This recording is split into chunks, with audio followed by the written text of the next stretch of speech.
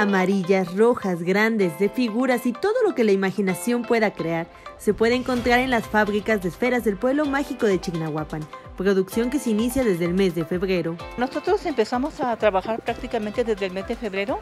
Se van haciendo lo que son cosas pequeñitas para después integrarlo a lo que es el armado de los arreglos y se va rellenando también la esfera. Septiembre, octubre y noviembre son las temporadas más fuertes para la venta de esferas. Sin embargo, por la emergencia sanitaria por COVID-19, las ventas disminuyeron en un 50%.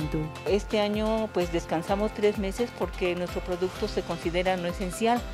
Entonces, por esta causa, eh, la producción se atrasó porque aquí en esto de la esfera todo es manual, todo es manual completamente.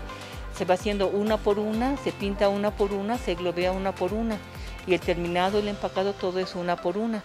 En esta fábrica de esferas producen todo tipo de artesanías que se adaptan a cualquier fecha del año.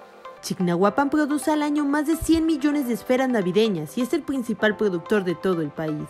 El proceso es artesanal. Primero se le da forma a las piezas de vidrio, posteriormente se aplica la pintura.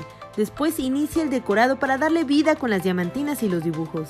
Finalmente se le inserta el gancho y se empaca para su venta.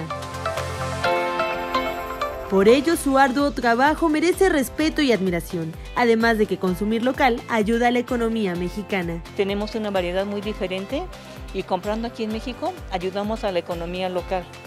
Eh, con la ventaja de que toda nuestra esfera es de vidrio, todo es vidrio soplado. Es un proceso muy artesanal y muy bonito y es una, una fantasía que aquí nosotros realizamos y ya la gente puede tener en su casa para adornar en, en, diciembre, que son unas fechas muy significativas. Con imágenes de Juan Rojas para Mega Noticias. Sara y Mancilla.